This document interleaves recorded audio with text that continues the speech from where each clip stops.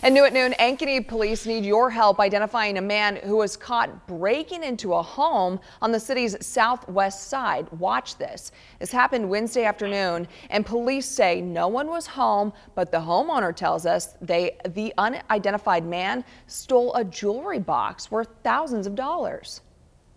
My daughter's baby jewelry, my dad's class ring. You know what I mean?